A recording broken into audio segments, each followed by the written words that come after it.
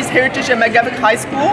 Uh, it's as you can see, everybody's excited to show their costumes, their traditions, cook their food. What tradition are you representing today? Mexican. Okay. This is empanadas. Also got some guacamole. Like traditional bread called conchas. Conchas. This is arroz con leche, but it's like a pudding and it's cold.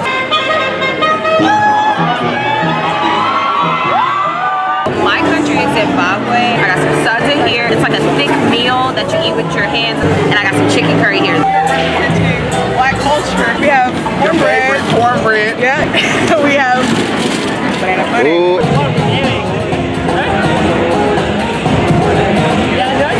Peru is a country in South America and they're very friendly people. So here we have a um, fried rice that is Peruvian style. so what tradition are you representing today?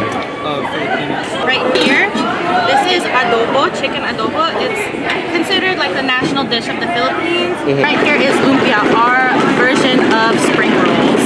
Di ka pasisipin, padalag at bundok sa simoy at sa langit mong buhaw. This is amazing and I'm so grateful to be here with all of these kids.